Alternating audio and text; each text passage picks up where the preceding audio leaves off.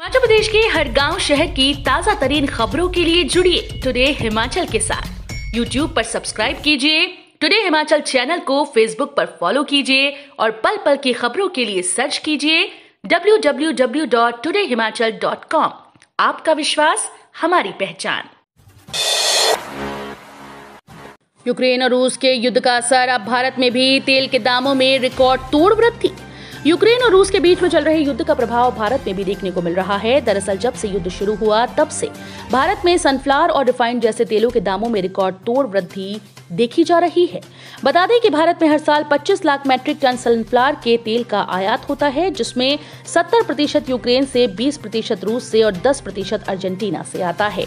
लेकिन युद्ध के कारण अब ऐसा नहीं हो पा रहा, जिसके कारण ही तेल के दामों में रिकॉर्ड तोड़ वृद्धि हुई है। खाने को रोटी न जेब में पैसा। हिमाचल के विद्यार्थियों ने 6 किलोमीटर पैदल चलकर पकड़ी ट्रेन। यूक्रेन में जंग के बीच फंसे हिमाचली छात्र छात्राओं के परिजनों की चिंताएँ बढ़ गई हैं। जैसे जैसे यूक्रेन रूस के बीच युद्ध तेज हो रहा है वैसे वैसे परिजनों का दिल बैठा जा रहा है। शिमला की छात्रा अनुष्का कुठियाला अदिति और मंडी जिला के करसोग की छात्र शिवांश सहित कई छात्र छात्राएँ वहाँ फंसे हुए हैं। व्हाट्सएप के ज़रिए इन विद्यार्थियों के बीच बीच में परिजनों से बात होती है। छात्र छात्राओं के अनुसार, वहाँ न खाने को रोटी है और न ही जेब में पैसा बचा है। पानी बिस्कुट से गुजारा हो रहा है। मदद के इंतज़ार में चौबीस फरवरी से ये अंडरग्राउंड मेट्रो स्टेशन में छिपे हुए थे। हिमाचल में एक संक्रमित की मौत, दो नए मामले। हिमाचल प्रदेश में मंगलवार को एक और कोरोना पॉजिटिव मरीज़ की मौत हो गई। कांगड़ा ज़िले में एक संक्रमित ने दम तोड़ा। वहीं प्रदेश में कोरोना की जाँच के लिए सत्रह सौ उनचास लोगों के सैंपल लिए गए थे। इनमें से दो की रिपोर्ट पॉजिटिव आई। प्रदेश में तिरपन संक्रमितों के स्वस्थ होने से सक्रिय मरीजों का आंकड़ा आठ सौ दो रह गया है। हिमाचल में फिर बारिश, बर्फबारी के आसार, सौ से अधिक सड़कें अभी भी ठप। हिमाचल प्रदेश में बीते दिनों हुई बर्फबारी से अभी भी सौ से अधिक सड़कें ठप पड़ी हैं। राज्य आपातकालीन संचालन केंद्र की ओर से जारी रिपोर्ट के अनुसार मंगलवार शाम छह बजे तक प्रदेश में 170 सड़कें यातायात के लिए बाधित थीं। वहीं 10 पेयजल योजनाएँ भी प्रभावित हैं। व्यवसायिक एलपीजी सिलेंडर के दाम बढ़े। वेरका का पैकेट बंद, दूध भी दो रुपए महँगा। हिमाचल प्रदेश में बीते माह इक्यानवे दशमलव पाँच शून्य रूपए सस्ता हुआ। व्यवसायिक एलपीजी सिलेंडर एक सौ पाँच रूपए महँगा हो गया। मार्च में व्यवसायिक उपभोक्ताओं को दो हज़ार एक सौ पचासी रूपए सिलेंडर लेने के लिए चुकाने होंगे। घरेलू सिलेंडर्स के लगातार पाँचवें माह भी दाम नहीं बढ़ रहे। नवंबर 2021 के दाम ही मार्च 2022 में भी लागू रहेंगे। घरेलू उपभोक्ताओं को एक हज़ार दो रूपए में एलपीजी सिलेंडर मिलेगा। पहले योजना से जुड़े उपभोक्ताओं को इकतीस दशमलव आठ तीन रूपए की सब्सिडी बैंक खाते में वापस मिलेगी। एनआईटी में 15 मार्च से ऑफलाइन लगेंगी कक्षाएँ। हिमाचल प्रदेश के राष्ट्रीय प्रौद्योगिकी संस्थान हमीरपुर में स्नातकोत्तर के साथ अब स्नातक प्रोग्राम की ऑफलाइन कक्षाएँ शुरू होंगी। कोरोना के मामलों में कमी के बाद सरकार के शिक्षा मंत्रालय ने सभी एनआईटी में ऑफलाइन कक्षाएँ शुरू करने के निर्देश जारी कर दिए हैं।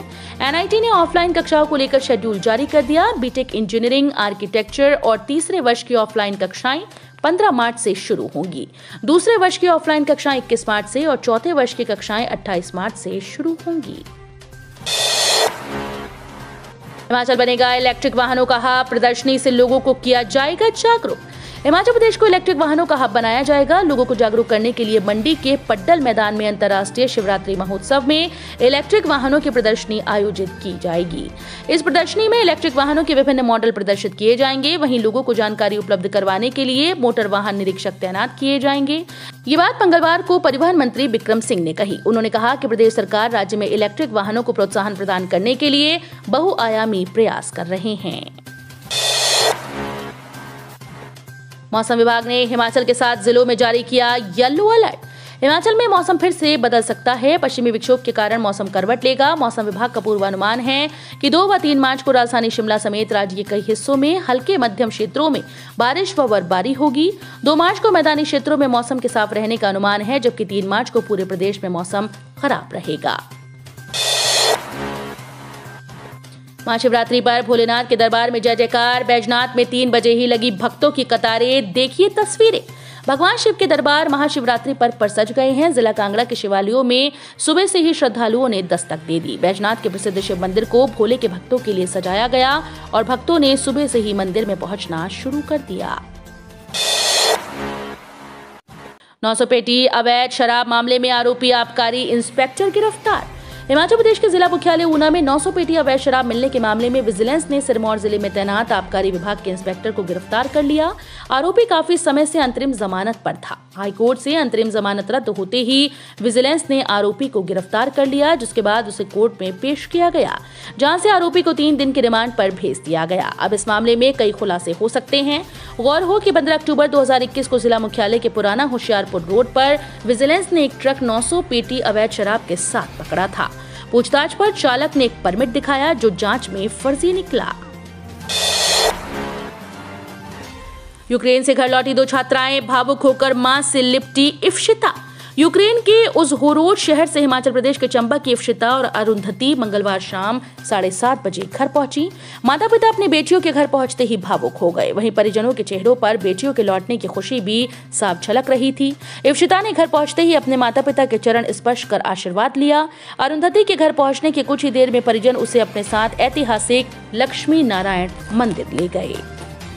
तो ये थे हिमाचल प्रदेश से जुड़े हुए आज के ताज़ा तरीन समाचार। उम्मीद करते हैं आपको ज़रूर पसंद आए होंगे।